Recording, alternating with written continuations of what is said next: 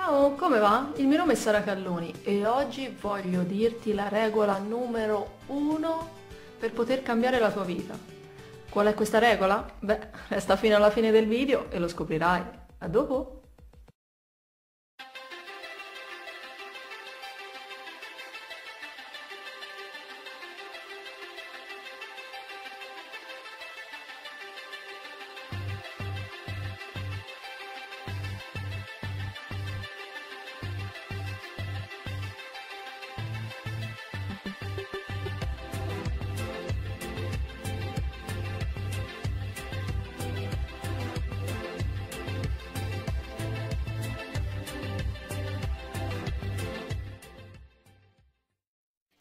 Bene, la prima regola per poter cambiare la tua vita. Cosa ha pensato la tua testa? Già cosa hai cominciato a pensare? Se comincio a dirti, beh, la prima regola è cambiare lo, il tuo stato di vittimismo. Vedi, il primo stato di coscienza è lo stato del vittimismo, perché se te ti guardi intorno e vedi una vita che non ti piace, c'è qualcosa nella tua vita che non ti piace, sicuramente stai incolpando qualcuno perché ti sta succedendo questa cosa nella tua vita, perché questa vita è così. È colpa dello Stato, non so. Mm, il primo esempio che mi viene in mente è una questione di denaro, perché purtroppo è sempre stata una delle mie fisse.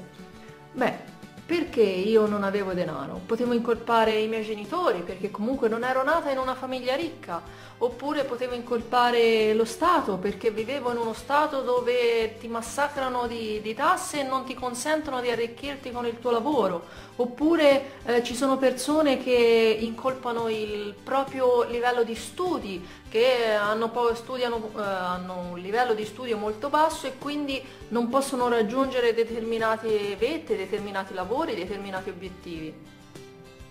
Siamo molto spesso in questo stato di vittimismo dove incolpiamo tutto il mondo del perché non possediamo qualcosa, del perché abbiamo perso qualcosa.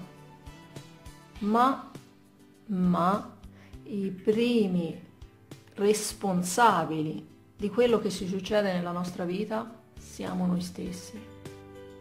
Perché se ti guardi intorno ci sono persone che sono ehm, nate e cresciute in famiglie molto peggio della tua, eppure sono milionari.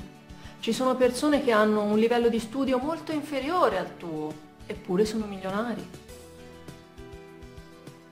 Ci sono persone che vivono nel tuo stesso paese, eppure sono milionari. E allora ti dici, perché io? E in questo caso la tua mente comincia a fare una lunga lista di tutti i motivi perché te non sei milionario. Così funziona, così è lo stato del vittimismo.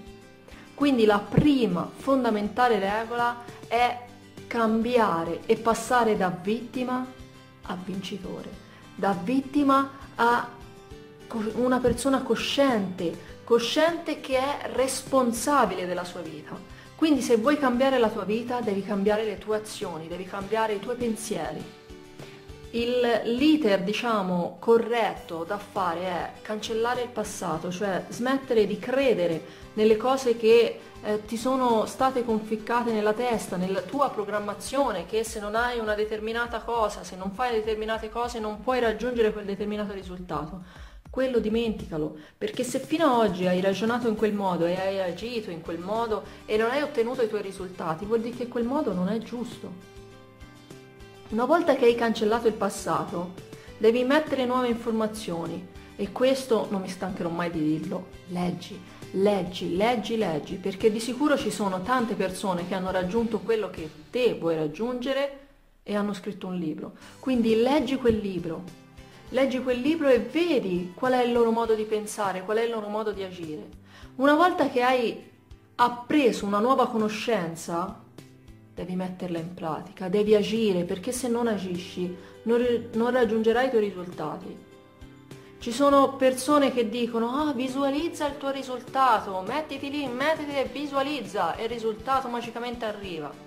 Non funziona proprio così.